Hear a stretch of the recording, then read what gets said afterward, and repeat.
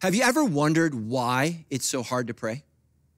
Like every single one of us knows we should pray. Even non Christians know we should pray, right? Some of your, your non Christian neighbors are like, Are you praying? We need you praying for our block. We all know this. And we're in this series called 40 Days of Prayer. But the truth is, I imagine as we've identified the importance of prayer in this series, for some of you, you've become worse at it. Why is that? Because the truth is, it's hard to pray, it's difficult to pray. It's easy to do everything else and often easy to forget to, to do the most important thing as a believer. So let me ask you a question. Why, why should you pray? Why? You ever ask yourself, why am I doing this? You ever felt like I'm just talking to the air? I'm talking to nobody? What, what is the purpose of prayer? In order to improve your prayer life, I want to challenge you today. You need to be able to answer that question why? And so, what I want to talk about today is I, I want to ask you do you know the purpose of prayer? Why are you doing this? You see, one of the ways to improve your prayer life, listen to this, is to understand the purpose of prayer. Now, if you Google this, you're going to find a bunch of pastors, theologians who disagree with me today, and that's okay. They can be wrong. Amen? But I want to answer that fundamental question. Why am I doing this? Why should I do this? Anybody raising kids? Oh my gosh. Tammy and I, uh, my wife's turning 50, and we were looking at some old videos. And if you want to feel old, watch old videos. It's just, oh my gosh, when did we become, you know, you know, just from the 50s? I don't know when that happened. But we were watching our kids when they were little, and and both my wife and I, we felt sad and we cried because because we miss them being little. We miss them being kids. But you want to know what I don't miss? Do you want to know what I never ever want to do again in my life? Is sit down with a child and do homework. Come on, somebody. I mean, I am preaching, amen? And here's the reason why homework is so frustrating because teachers don't tell kids why. Why? Why does it matter how the Egyptians built the pyramids? Why does it matter how we started speaking English? Why does it matter? You ever ask this question in math? Why do I have to know algebra? Well, let me tell you why. Do you want to know why algebra is important? And I told my son this. Solving algebra equations, listen to me, strengthens your problem solving skills. It helps to teach organization, to break down complex data, and it teaches logic and wait for it, Sandals Church, critical thinking skills. Thinking is hard. yep, that's why most people don't do it. You know? It teaches you how to think, it teaches you how to solve.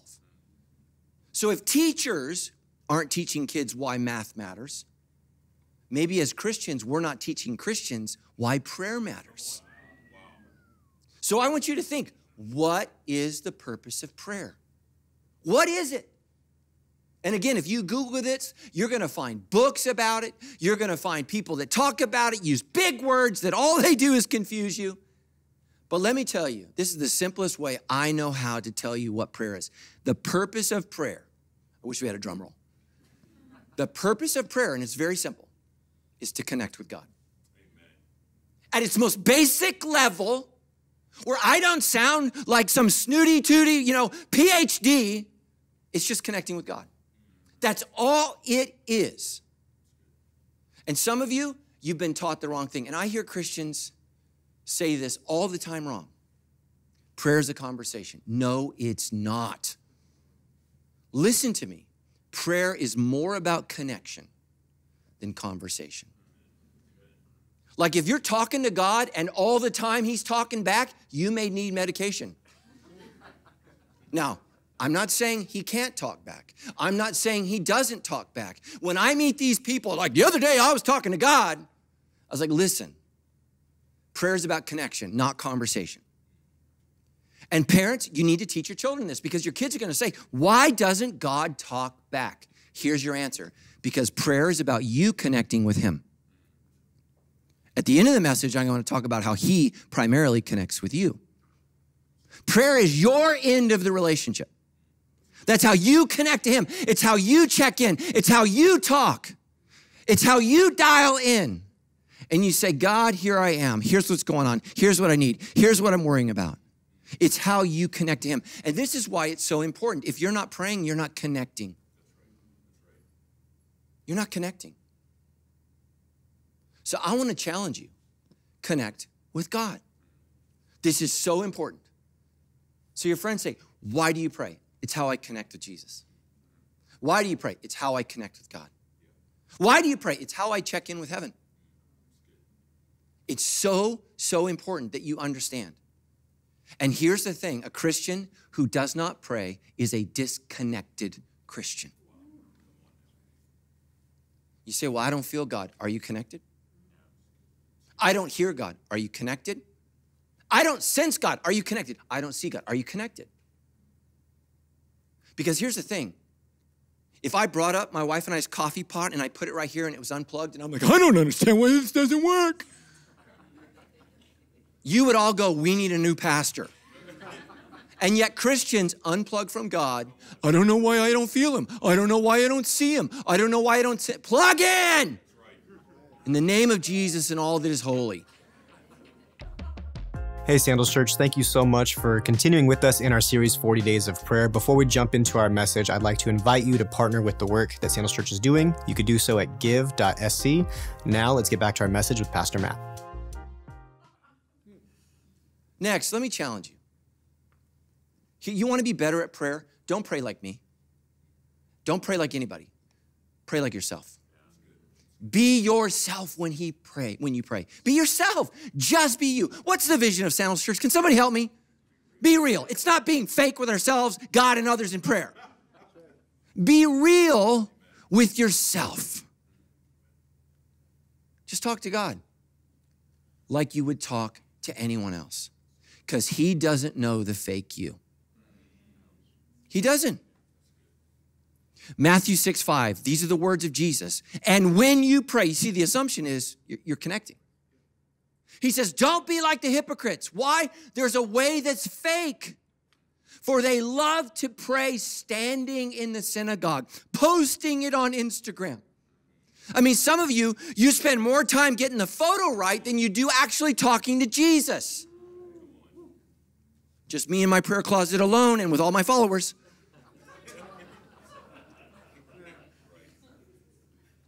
Listen to this. They love, they love it to be heard on the street corners and to be seen by others. Prayer is not about being seen by others, it's about, listen to me, being heard from by God. You see, prayer is not you hearing from God, prayer is God hearing from you. So when you talk to God, Talk to them. Now, here's the thing it's awkward, isn't it? My kids were teenagers, that was their favorite word. Awkward. It's so awkward, Dad. You're so awkward. You know, before 12, you're the coolest thing on earth. They turn 13, you're so awkward. Stop embarrassing me, Dad. You know, as I was ordering food. I know, do you have to do it that way? It's awkward. And you know what's especially awkward when you meet somebody for the first time? I get it. You know what's even more awkward when you meet somebody for the first time who knows everything about you and you know very little about them. You know who experiences that every day? Me. I meet people all the time. They think we're best friends and I don't know their first name. It's awkward, you know? And I don't know how to handle it. I, I turn into Ron DeSantis. I'm like, you know? I like him. I like him.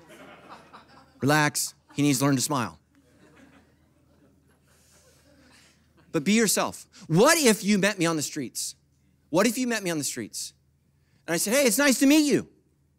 Or I said something like this It is with the utmost delight and profound honor that I extend my sincerest greetings to you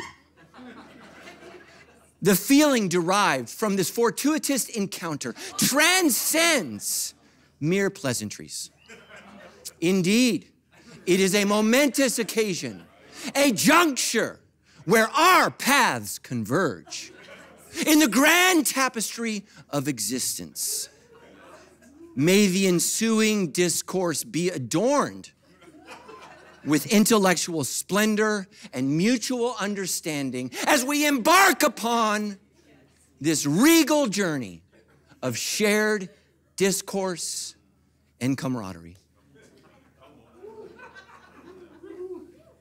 How many of you would go to a different church if we met each other that way? Then why does prayer sound like that? I truly believe that when some pastors pray, the Lord Jesus is like, Who's that? So when you pray, be you. Lord, it's Miguel. Miguel Jr. The restaurant's doing great.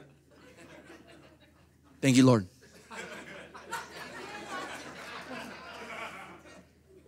Or how about this prayer? Lord, I, I don't know what to say. I feel stupid. Please help me to not feel this way. For some of you, that's the most holy, honest prayer you could pray. I feel stupid, Lord. I don't sense you, I don't feel you, and, and, and I feel bad about that. I feel awkward talking out loud to someone I can't see. The Lord gets it. But if He's gonna get you, you gotta get real when you pray. You gotta get real when you pray. Now, here's the next thing. If you're bored in your prayer life, if your prayer life feels flat, if it feels mundane, if it feels like you're checking a box, why not invite the Holy Spirit to help you pray? What about that? What about that? And some of you are like, I, I never heard of the Holy Spirit. Well, I'm going to talk to you about him. When I first became uh, a dedicated Christian, I was 21 years old, gave my life to Christ. I was fired up, man. I was super excited. My friend was like, Have you been baptized by the Spirit? I was like, Probably no. you know, I don't, I don't know. It could have happened. I didn't know. And so he brought me to his church service. This is a great church, uh, just a couple miles from us. I got good friends there. I know the pastor there. I, I'm not to, to make fun of them or put them down at all, but you know, they're more of a holy roller church. I'm just hoping you guys would be holy. Would you help me out? Stop sinning and just be holy. Um, so I went to their church. I didn't know what. And if you've ever been to one of these, you know, Holy Spirit services, they're a little wild. And so I show up. I, I, I don't know. I didn't know what to expect. I, you know, I grew up Baptist, and so whenever we talk about the Holy Spirit, if you grew up in a church with the name Baptist or Bible in it, raise your hands. Yeah, you're a little nervous. You're like, oh, okay, where's this going? If you grew up in a church with Spirit, flame, or fire, you're ready to take your shirt off and rub it down the aisles like, well, come on, we've been praying for this. Revival's breaking out. So I, I, grew up Baptist. And so here's the thing, Christians, we come from different denominations and we need to care as much about each other yes, as we do about being full of the Spirit. And so I went to this service and I didn't know what was going on, but basically you come forward and you march down this aisle and I start walking and I'm looking and people are passing out. I've never, if, if in a Baptist church, if someone passes out, you call 911. Amen?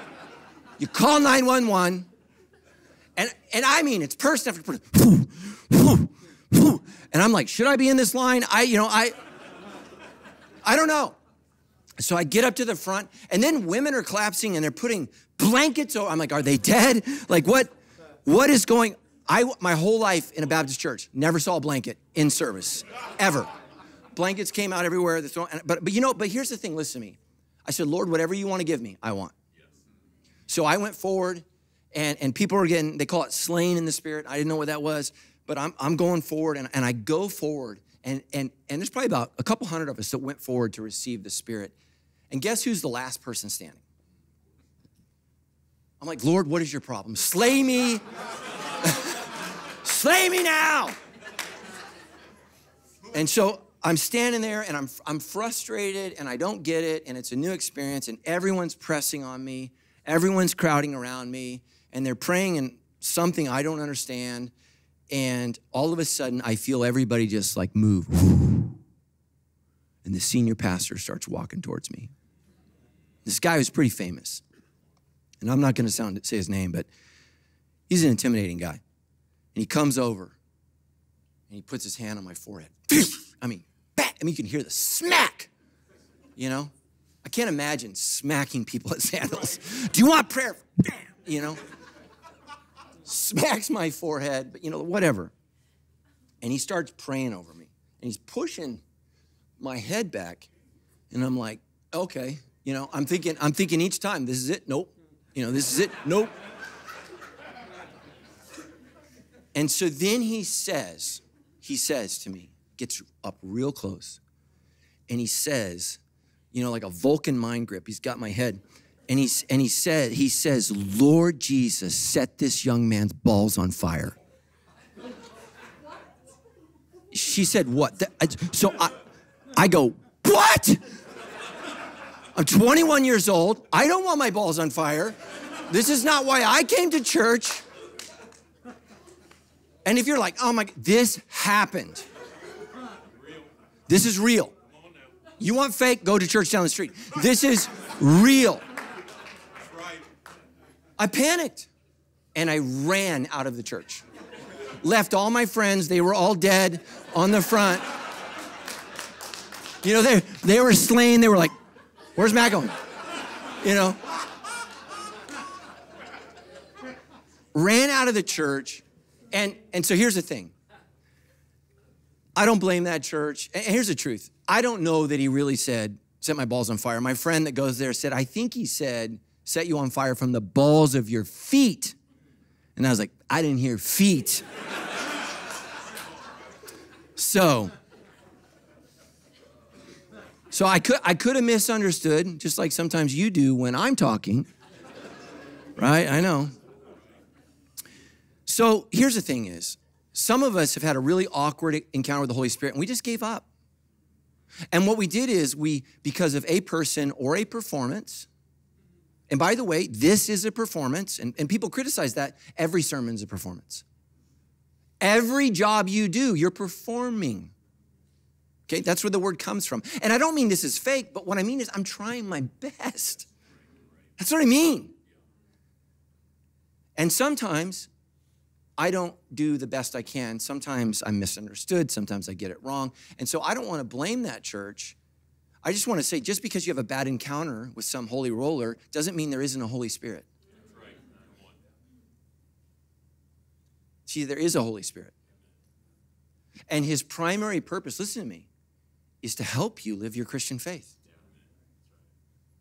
God the Father loved you, Jesus died for you, the Spirit indwells you and empowers you. And if your Christian life and your prayer life is flat, maybe you need a filling of the Spirit. Paul says this in Romans 8 26. Likewise, he says the Spirit helps us. Does your prayer life need help? Well, I got good news. The Spirit can help you. How does the Spirit help us? He helps us in our weakness. Okay? And if you're like me and you have ADD, that's real. Focus is a miracle. He says this, listen to this. How does the Holy Spirit help me in my weakness? For we do not know what we ought to pray for. Oh. Sometimes when you sit there and you say, Lord, I, I, don't, I don't know what to pray for, the Spirit does. The Spirit does. Listen to this. But the Spirit Himself, the Holy Spirit is personal. Not just a force, not just energy. He is the third person of the Trinitarian God. Now, we don't understand this, and some of you are like, what? We don't understand this. But for 2,000 years, this isn't new. This isn't just sandals. For 2,000 years, the church has proclaimed a belief in one God who is spirit and exists somehow in three persons. We don't understand it. And we really get in trouble when we try to explain it. And let me just say this if you can, can explain all that God is, I think you got the wrong God. That is. You got to leave mystery for who God is. But the Spirit Himself intercedes for us with groanings too deep for words. You ever want to say something, but you can't?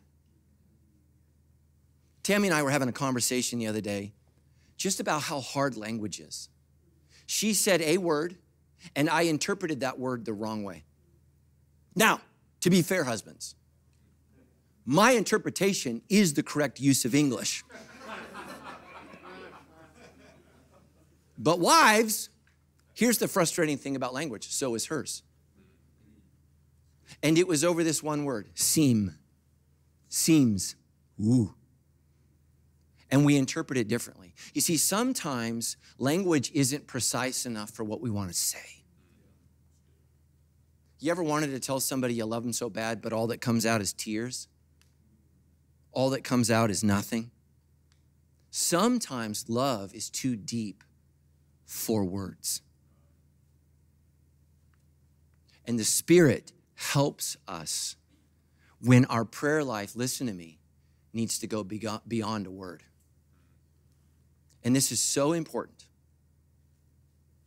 And so when we talk about the Holy Spirit, right? We're all going to have one of three responses. Nope, I grew up in a Bible church. This makes me uncomfortable. Oh man, I've been waiting for sandals to get baptized in the Holy Spirit, and it's about time you guys got saved. You know, well, thank you. And then some of you, and let me say this for the vast majority of people that go to Sandals Church, they haven't been to church in a long time or they've never been to church in their life, and they need to be our primary concern.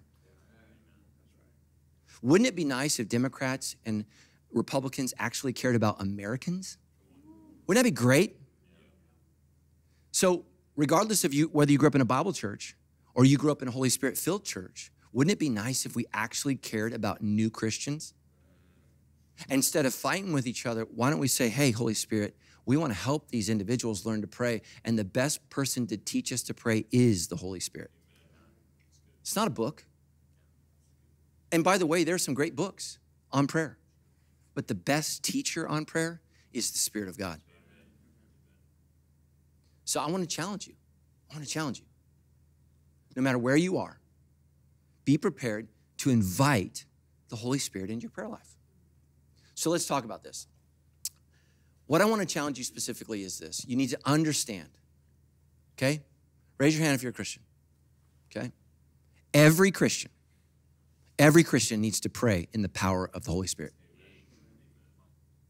I don't know where you think your prayer is going without the Holy Spirit, but it's not making it to heaven.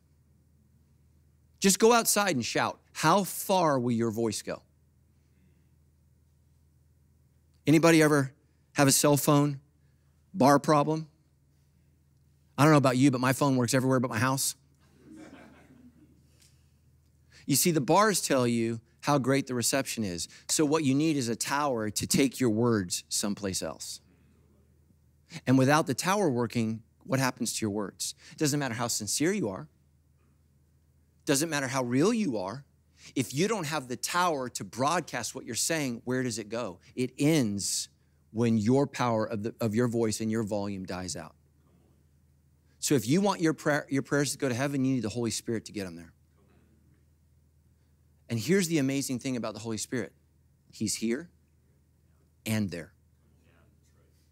He's here and there. And if you're a believer, He's here and there. So here's the thing Jude, the half brother of Jesus, and if you know if you've never read Jude, it's only one chapter. Should, you should tell everybody it's your favorite book. yeah, I love Jude. Um, read it every day. Uh, it's one chapter.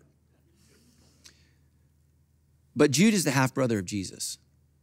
And this is so important Listen to what he says. He says, But you, as a Christian, dear friends, he says, build yourselves up in your most holy faith. Listen to me. If you're a Christian, the most important thing you are doing is building yourself up in your faith. So many Christians get saved and stop. Let me tell you something. When you get saved, it just started. It just started. Your mission in life as a Christian is to grow, is to build, is to change. And the way we do that is by inviting the Spirit. But this is so important. He says, My dear friends, what you need to do is you need to grow up in this most holy faith and listen to these, these words and pray in the Holy Spirit. You need this. Every Christian everywhere. Now, why is this important? Because James is talking about how to connect with his brother, Jesus. And what he says is not, learn to talk to my brother like I do. That's not what he says. He says, learn to talk to my brother through the Spirit. Jude grew up with Jesus. Jude knew Jesus. Think about that. And Jude says, when we talk to Jesus, we do so through the power of the Holy Spirit. So if the half brother of Jesus needed the Holy Spirit to pray, what do you need? What do you need? We all need, every single believer, whether you grew up in a Bible church or a Pentecostal church, needs the Holy Spirit to pray. And it shouldn't be a divisive issue. Isn't that sad? That the very person of God that brings us together is the very person of God that we divide over. That's our spiritual gift. We divide over the Holy Spirit. So every Christian, everyone, every single one of you needs the Holy Spirit to pray. Everyone does. Some Christians, some Christians will pray in tongues through the gifting of the Holy Spirit. Not all. Not all. I get all my Pentecostal pastor friends, they're like, You pray in tongues yet, Pastor Matt? And I'm like, No, not yet. They're like, Oh, oh, you're so cute. You're so cute. Look, I've asked for the gift many times.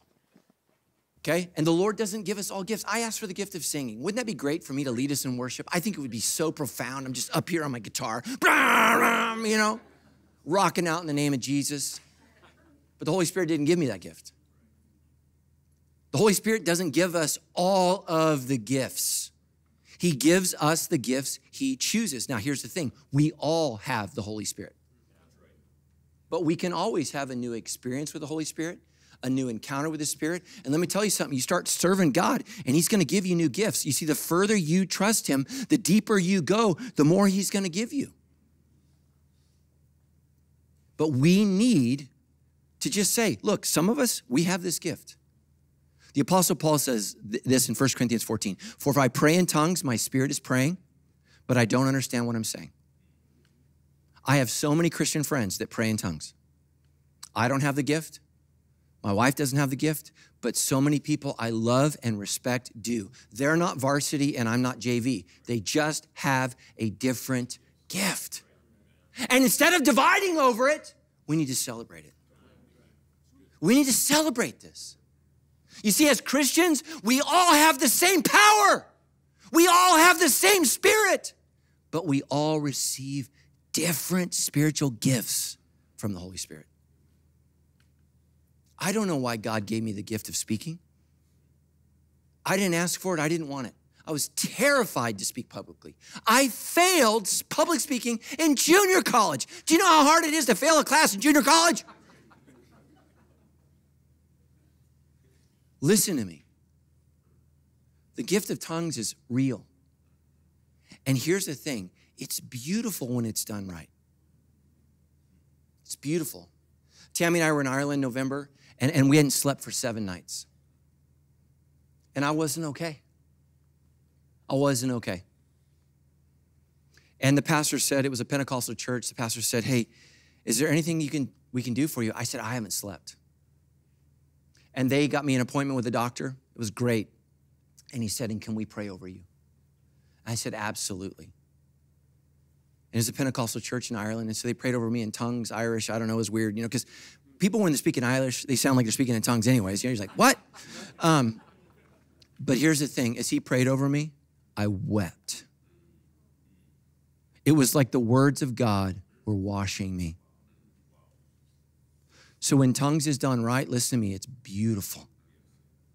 When it's done wrong, it feels like a car crash.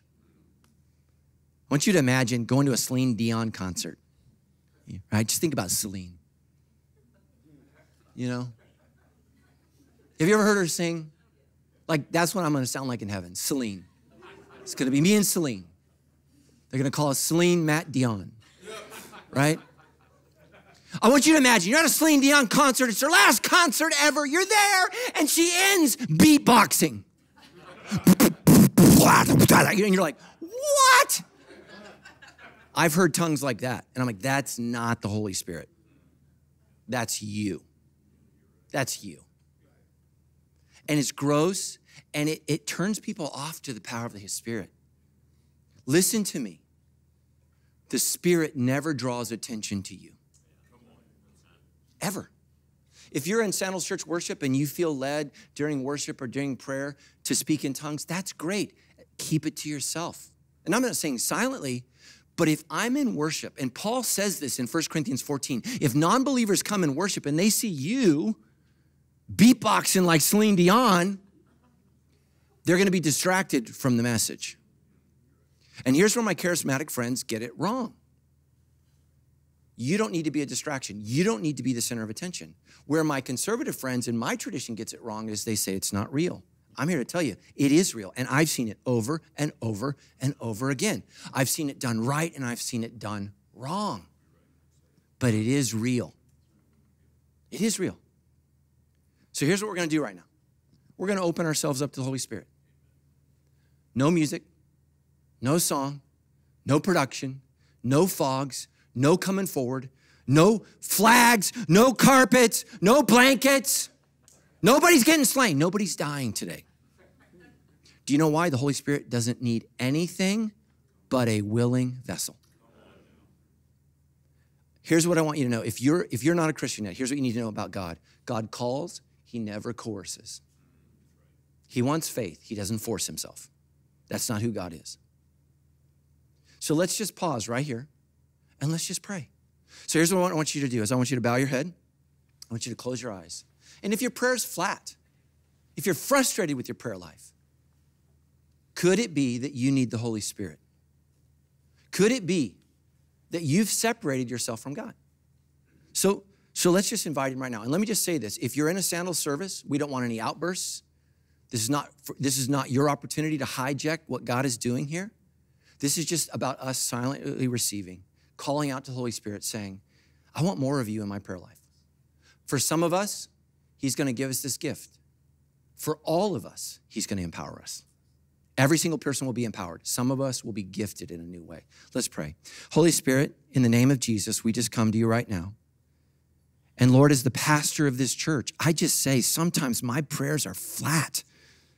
They're rote and they're mundane. And, and it feels, Lord, sometimes like I'm just checking a box. Fill me afresh with your spirit. Holy Spirit, I, I, just confess, Lord, my, my pride in what I think I know, my pride in, in my understanding of you, and I just confess that. And I invite you, Holy Spirit, to just fill us as a church, to fill every believer in this place.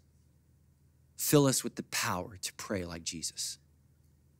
And Lord, for some of us, fill us with this gift to pray in a way that we don't understand that's a mystery, but is beautiful. We pray this in Jesus' name. Amen. Now, here's the thing nobody needs you to, to teach you how to do this. When, when it's been authentic, people, just, it just happens. It just ha- it's never forced, it just happens. It'll feel like there's something inside that has to get out. And when it's just you and God, let it out. Let it out. It's a beautiful thing. All right, next. All the Baptists can relax. Here we go. You survived. You survived. Next, learn to listen for God's voice when I pray. Well, you said, Pastor Matt, it's primary. I know what I said. Prayer is about connection, not conversation. But you know, sometimes God speaks. When? When He wants to. Learn to listen for God's voice. Because some of you, hello, are hard headed and God is speaking at you and you don't listen. Revelation 1:10. This is John who wrote the book of Revelation. He says on the Lord's day, that's Sunday, he says, I was in the Spirit. Whoa. He's not just praying in the Spirit. He's so close to the Holy Spirit. He is, he can't distinguish himself from what the Spirit is doing. I, I was in the Spirit. He said, I heard behind me a loud voice like a trumpet. As your pastor, let me tell you something. I have heard God speak. You say, What did it sound like? It felt like a train crashing into my chest. It was beautiful and terrifying. Beautiful and terrifying. When God speaks, your whole body, your whole soul will shake. When God spoke to the Israelites, they begged Moses to tell him to stop. You see, some of you worship a wimpy Jesus, and that's not the real Jesus. When he speaks, people fall. Lord, what do you have to say? What do you have to say? That's why John says, I fell as though I was dead. Hebrews 3 7 through 8. So, as the Holy Spirit says today, if you hear his voice, I don't know if you will, do not harden your hearts. You see, the Holy Spirit can speak to me through the Bible. So I said prayer is the primary way I connect with God. Do you want to know why you need to read your Bible? Your Bible is the primary way He connects with you. Some of you are like, I want a word from you, Jesus. And Jesus is like, I want you to do something about the words I said. And you're like, I want a new word. And he said, I want you to be obedient to the old words. Sometimes he can use a voice, it can be a still, small voice. Sometimes it's a strong urging. As I was writing this message this week, I felt prompted to stop my sermon and pray for a staff member. And I just texted him. I said, I don't know what's happening for you right now, but God is telling me to stop this message and to pray for you. You see, God can do that. Sandals Church raised two extra million dollars in December. We had this huge goal. It was a massive undertaking. Money's tight. You know, McDonald's is now 100 bucks a meal, you know, for Happy Meal. It's like, what's going on? And we were $34,000 short of our goal. And the Holy Spirit urged a member of our church to write a check for the exact amount we needed. That's the Holy Spirit. I don't know why, you know, Frida, but I feel like it should be for 34,000 whoever it was, thank you. Next, the Lord can speak through a trusted believer. Keyword trusted. And if you need to pray about that, talk to someone on staff. I don't know if they're trustworthy. Okay. Then I wouldn't talk to them. Trusted believer. I kid you not, I was working out at the gym getting stacked.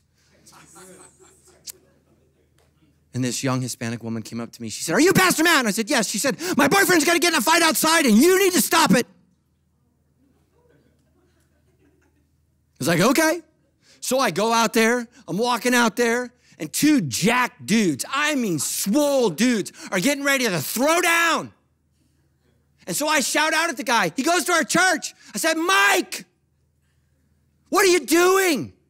Can I just say, if you're about ready to look up porn and I just magically appear in your living room, and I'm like, what are you doing? That's God. Stop. Stop. What are you doing? Mike, what are you doing? And this other Hispanic guy comes up to me. He's like, yo, man, nobody's jumping in this fight. I was like, you think I'm jumping in? I was like, come here, let's bring it. Yeah. You see, I'm the age of both of these guys together. There will be no jumping in.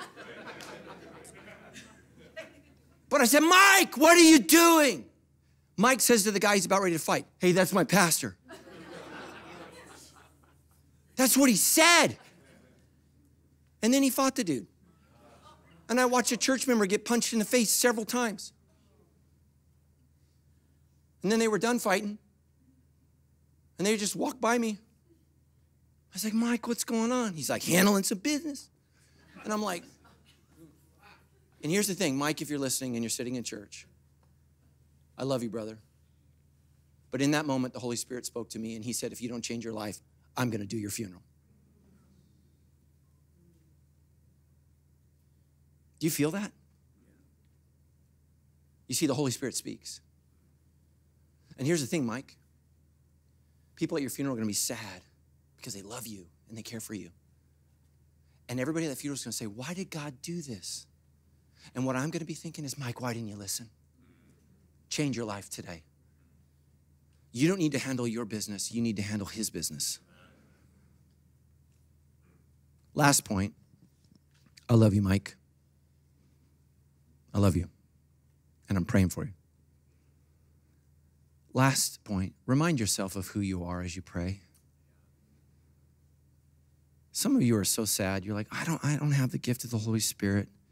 And then some of you are like me, you're like, I don't have any gifts. You know? And you just feel so second class. Some of us feel dumb. I don't get God. I'm not smart. I can't, I, I mean, some of us, right? We're, we're not good at reading. Lord, I, I, I can't read your word. Man, I got news for you. When you pray and you talk to God, I want you to remember who you are this week. Because you don't know who you are. Because if you knew who you are, you would pray every day. Galatians 4 4 through 7, it says, But when the right time came, God sent his son, born of a woman, subject to the law. God sent him to buy freedom for us who were slaves. Why? So that he could adopt us.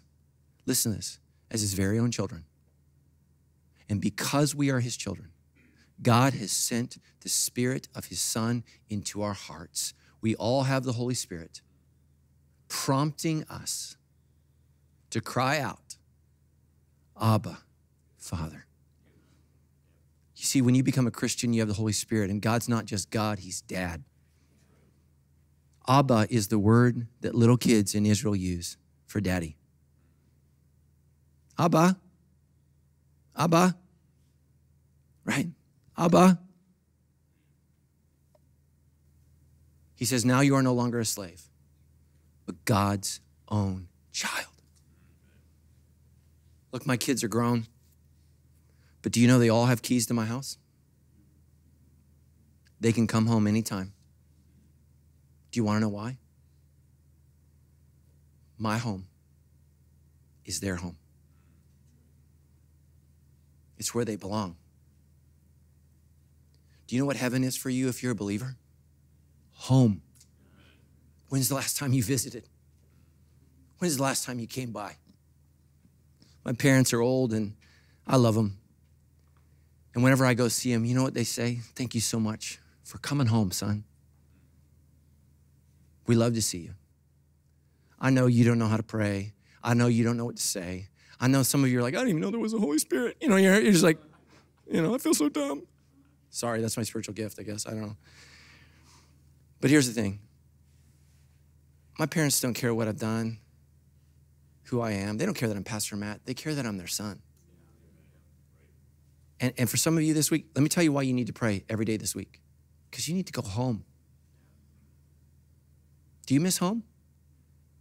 For some of you, it's been way too long. And just say, Dad, I've been out there. That's what prayer is. So, I'm gonna do right now is I'm gonna pray over you and dismiss you. So, this is new. No bells, no whistles. I'm just gonna dismiss you. Listen to this as you go home today.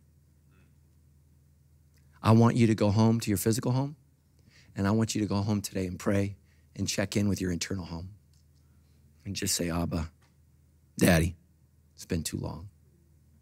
I'm so sorry. And here's the thing He's not going to guilt trip you, He loves you. He sent His one and only Son, Jesus, to die for you so you could have these conversations. Isn't that great? So let me pray for you and then you'll be dismissed. And if you're at a campus and you need prayer today, you can still go forward at the end of service. There'll be people to pray for you there. And if you're watching online, let us know if we can help you. We love you guys. But here's the thing prayer is hard by yourself, but with the Holy Spirit, it's powerful. Amen. Let's pray together. Jesus, we pray in your holy name that your Holy Spirit would help us pray. God, let us not make this 40 days a to do list, something to add to our calendar. But God, let us be a way where each and every day we're checking in with home because you sent your son to earth for us so we could be with you in heaven. But Lord, we don't have to wait for heaven until we die. We can talk to you right now through prayer because of Jesus. So, Holy Spirit, empower us all this week as we go home and we talk to you each and every day through this series. We pray this in Jesus' holy name. Amen.